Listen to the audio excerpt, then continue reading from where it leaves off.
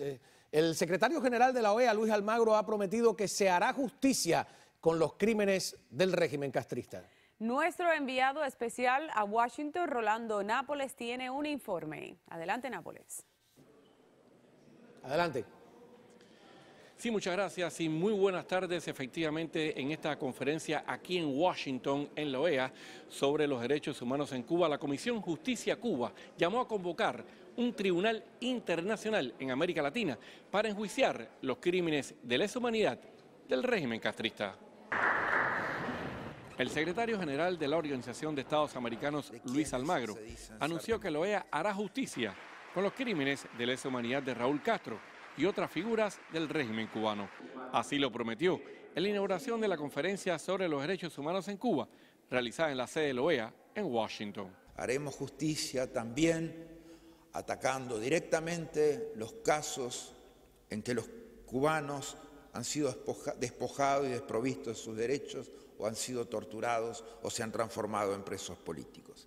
En el más duro discurso de Almagro sobre el régimen castrista, el secretario general de la OEA aseguró que era tiempo ya de que terminara la impunidad de lo que llamó claramente dictadura cubana y su efecto nocivo en toda la región de América Latina.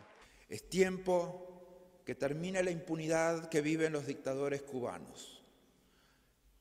Y haremos justicia en esta conferencia en la OEA sobre los derechos humanos en la isla, la Comisión Justicia Cuba votó a favor de convocar a Tribunal Internacional en América Latina para que encauce y enjuicie a Raúl Castro y a otras figuras del régimen castrista por crímenes de lesa humanidad contra el pueblo cubano.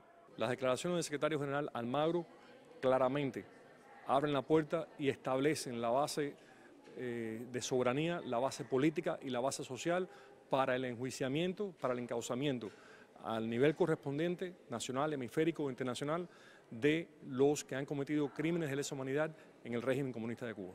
Exiliados y expresos políticos cubanos dieron también sus testimonios sobre los crímenes de lesa humanidad del régimen castrista en esta conferencia sobre derechos humanos en la isla, en Loea. Su secretario general anunció que combatir la privación de libertades en Cuba será una prioridad a partir de ahora de la agenda interamericana.